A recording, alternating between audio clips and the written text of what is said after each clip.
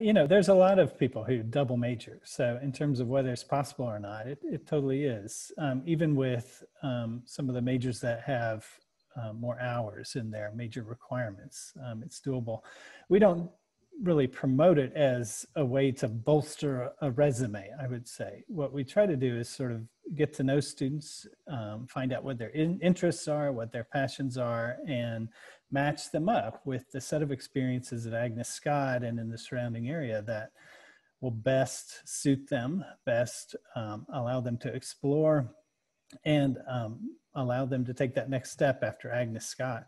Often that's not a double major. Often that's delving deeper into their major or having um, co-curricular experiences that really provide context for what they're passionate about.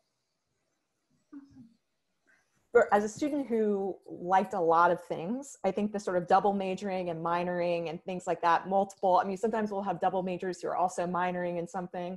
Um, there are it's totally un, that impulse is really understandable and if you have a real really strong sense of what you want to do next there may be a really good reason for adding that that minor on maybe it puts you in a better position for graduate school or something like that um, the one uh, and one way that Agnes facilitates this is that we do have so many cross-listed courses that it can it can and it's a small campus so it's quite easy for you to kind of meet with professor from one department and meet with one from another or even see both of them at the same time. Um, so those are some some good things about it. I would say a downside is that it may not free you up to take as many classes in other departments.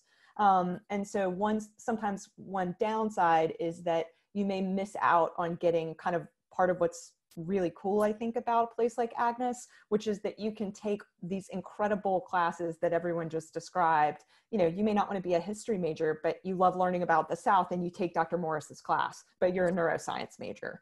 Um, and so the kind of sometimes the more you tackle on the less freedom you have to do that kind of exploration sometimes.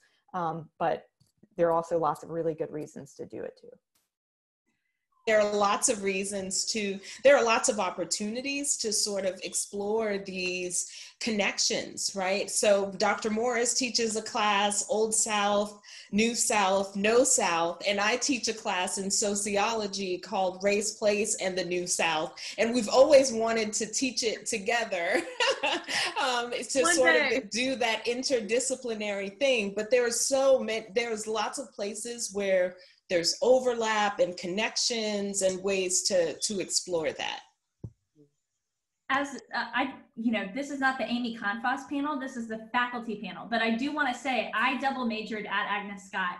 And there were beautiful things about it because, like Professor Whitworth said, there already is such a strong connection between the programs.